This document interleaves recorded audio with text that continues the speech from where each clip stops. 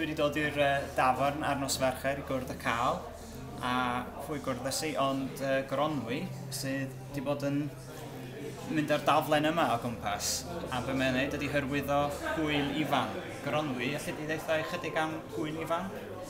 A chroeso, uh, mae erbyn hyn yn 15 mlynedd ar 20 es pan mae gwyl ifan yn rhedeg. Uh, gwyl Dawnsio Gwerin i fi. Uh, Mae'n digwydd uh, yn ystod penwythnos canol haf. Um, maen nhw'n deud i mi mae Sant Johan yw uh, nawdd Sant y Dawnswyr. Da ni ddim yn siŵr iawn beth oedd yn wneud efo Salome, ond ers yr amser yn un, yr amser y Beibl, mae'n ddigwydd bod yn ben wythnos Sant Johan a canol haf. Um, da ni fel arfer, uh, a ers blynyddoedd mawr, yn cynnal yr rwyd mewn un o'r gwestai yng Nghaerdydd a ers dwy neu dair blynedd nawr, da ni wedi sefydlu'n hunan yn yr angel. Um, da ni yn cynnal twmpath ar y nos Wener i'r cyhoedd. Uh, dwi'n siŵr, fai mae'n dweud na raglen, rhyw 5-6 ffin i ddod mewn.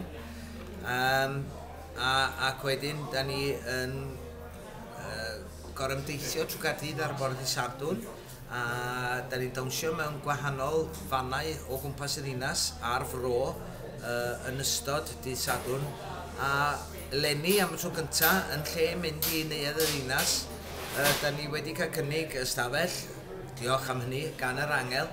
Uh, da ni'n sefydlu'n hynna yn yr angel am y taplas sef twmpath posh uh, ar y nosadwn um, felly os oes da chi o gwmpas ar y nos Wener yn bendant dywch i'r twmpath gewch chi lwyth o sbort da ni'n rhoi cwrw gwreiddiol ar, ar, ar, ar, ar, ar, y bar.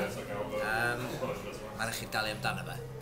Uh, ond hefyd, mae'n mae, llwyth o sport ar nos Wener. Ac os ydych chi am weld y pared, pan da ni'n gorau ymdeithio heibio'r castell a lan i neu'r ddinas, dewch, 11 bore i sadwn, mae'n olygfa, plant yn offi weld e, siwr fod, lot o ddawnsy'n mewn gwisgoedd, A mae gyda ni dimoedd o dramor yn dod hefyd. Mae gyda ni dim o, o'r Almain, Stuttgart yn dod, a mae gyda ni dim uh, o Llydaw yn dod, hen ffrindiau yn dod, a mae, mae gwisgo nhw yn werth i gweld. Um, felly, Mehefin 17, 18, 19, dewch yn lli. Mae werth i weld.